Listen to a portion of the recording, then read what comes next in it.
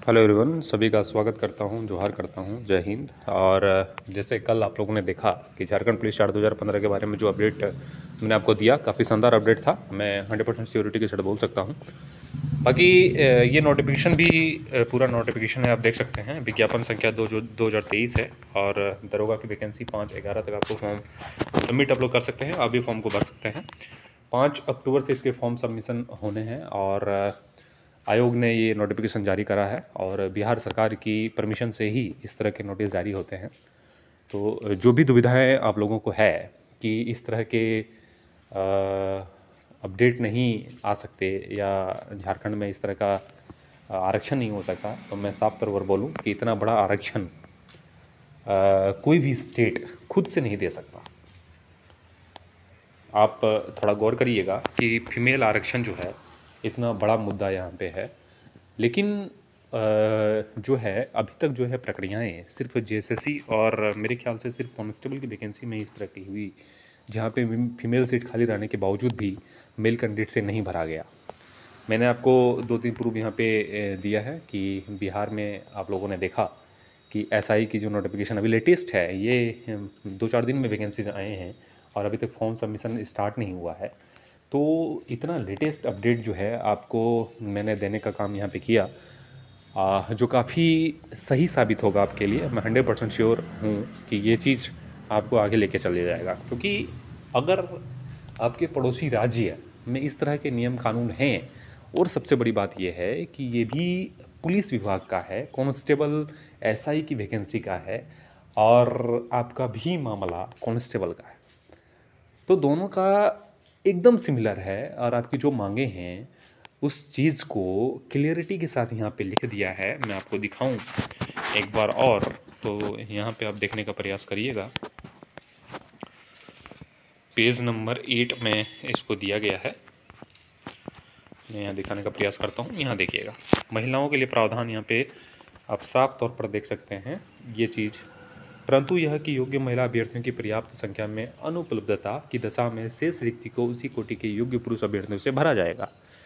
तो मैं यही कहूँगा, अभी भी टाइम है, जितने भी केसेस हैं और जिस तरह से मैंने पहले ही आपको इस चैनल के माध्यम से बताने का प्रयास किया था कि जितना केस आप लोग करोगे, उतना लेट आपका केस की सुनवाई में होगा।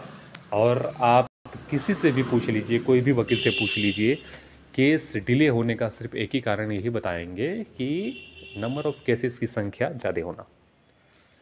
तो इस चैनल के माध्यम से जो भी बताया जाता है, आपके बेहतरी के लिए बताया जाता है, आपके सही के लिए बताया जाता है, ताकि एक सही निर्णय लेते हुए आगे की लड़ाई लड़ी जाए। अभी जो बीत गया, उसकी चर्चा मैं यहाँ पे नहीं करने वाला हूँ। मैं कुछ ऐसा बात आपको बताने वाला हूँ या आपके सहयोग के लिए आपसे आग्रह करने वाला हूँ जिसमें आपकी सहभागिता बहुत ज़रूरी रहेगी। वो ये है कि अभी भी एकजुट होने की ज़रूरत है। सब मिल जाएँ, सब मिल के केस को डील करें। अगर ऐसा नहीं होता है तो अगर लेट हो जाएगा तो मैं आपको बता दूँ कि आपकी गलती के कारण ही केस को हारा जा सकता है और दूसरा कोई भी ऑप्शन नहीं है कि आप केस को हार जाए। जिस तरह से प्रूफ आपके सपोर्ट में है, आपके लिए है, जैसे क्षतिज आरक्षण, बिहार वाला मैंने बताया। उसके बाद आपका जाके उत्तर प्रदेश सौरभ कुमार वाला है। और भी बहुत सारे ऐसे हैं जहाँ पे आप जिस चीज़ की लड़ाई लड़ रहे हैं, उस चीज़ को हरी झंडी ऑलरेडी मिल गया है। तो आपकी जीत तो ऐसे ही सुनिश्चित है, लेकिन हारने का कारण सिर्फ़ आप हो जाएँगे अगर अभी भी आप ईर्ष्या भाव एक दूसरे से रखते हैं तो। मेरा कहने का मतलब यही है कि जितने भी केसेस चल रहे हैं, सब जितने भी छात्र अलग अलग हैं, सब एकजुट हो जाइए। जो भी निर्णय होगा सर्वसम्मति से लेने का प्रयास करिए। अगर आ, मैं बात करूँ तो एक आप लोगों के कहने पर ही आपका कमेंट का मैं यहाँ इंतज़ार करूँगा।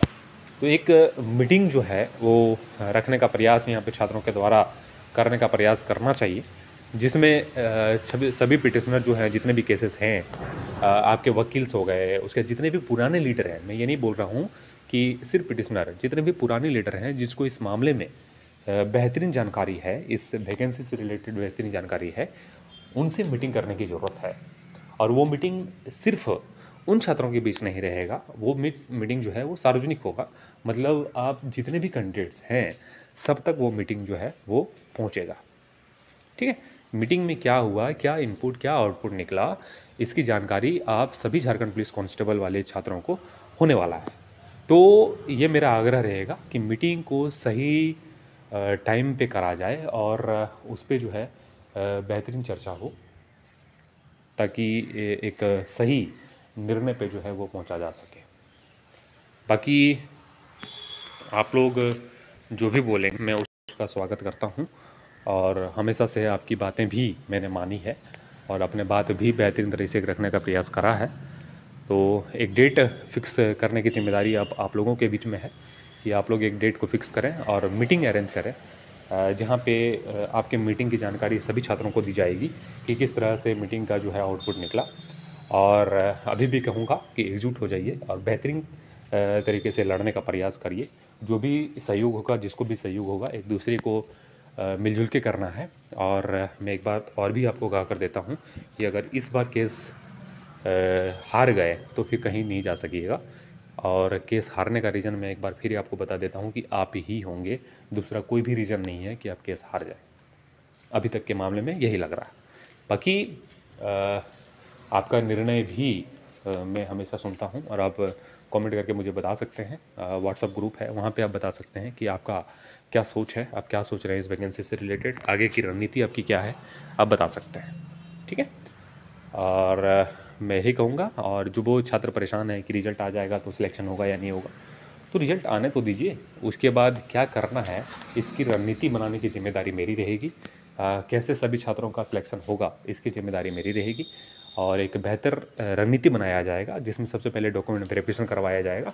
और मैं आपको हंड्रेड परसेंट सिक्योरिटी के साथ बोलता हूँ कि छात्र नहीं मिलेंगे ज्वाइनिंग करने के लिए। क्योंकि बहुत सारे छात्र अदर अदर अदर अदर जो है वो नौकरी में चले गए हैं। तो आपको परेशान नहीं होना है और कुछ बेहतर करने का प्रयास करना है ताकि इस वैकेंसी में जीत सुनिश्चित हो सके।